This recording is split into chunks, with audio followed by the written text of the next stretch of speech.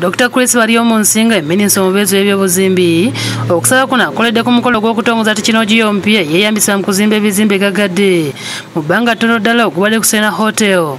Wano mu kampala. Ategeeza nti mu uganda abantu bazaala nnyo nga kino kiviirako obwetaavu obw'amaanyi mu mayumba ge basulamu. Kati twetaaga kuzimba mayumba mangi okulaba nti abaana bwetuzaala abantu ngo baba beyongera mu namba kati bafune amayumba amalungi. So innovations nga zino tekinologiya nga eno esobola kutuweereza amayumba osobola kuzimba enyumba mu budde obutono. Nungi ejja kutuyamba okulaba nti uh, tutuukiriza tagets zaffe ng'eggwanga okulaba nti buli muntu yenna afuna enyumba gy'asulamu.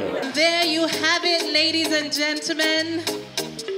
Unveiled for the first time, a game changer here. tekinologiya yatongozeddwa ayitibwa safbuild ng'ono akoleddwa bakampuni ya uganda bat era ng'asookedde kukozesebwa ku bizimbe omuli amasomero amasinzizo amakolero n'ebirala ebigwa mu kkowa eryo nga bye bannyonnyola The buildings that you see here are fully side cladded with the metal cladding. There is no block work here.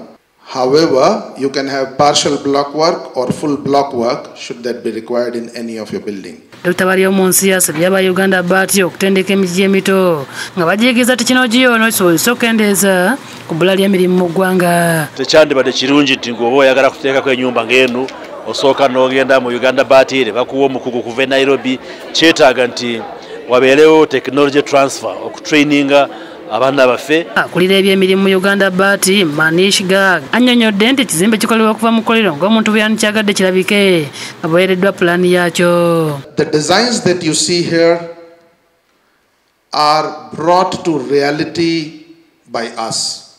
We say that whatever you whatever you draw on the paper, we bring it to life.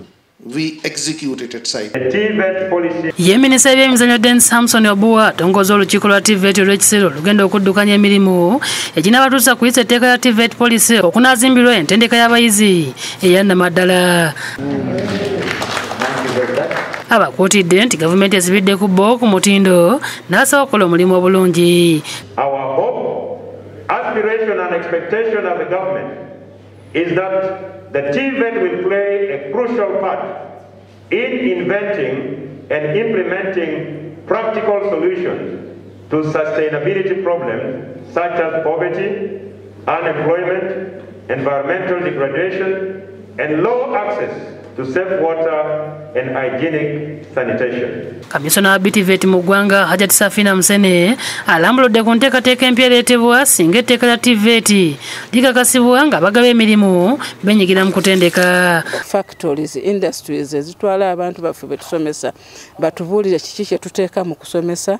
Eh, batubuulire engeri ki gye- tubateeka we tubateekayo mu- eyo mu industry tubasomesa batya? Agamba nti mu tteeka eryo wakusibwawo yunivasite y'ebyemikono nga abayizi bakufuna diguli mu byemikono ekitabaddeewo national polytechnic ejja kubeera level 4 and then technical university level 5 nga tetu- tetufulumya bufulumya wabula tufulumya abasaanidde. Judith nalugwa ne densi kyobe be bakusa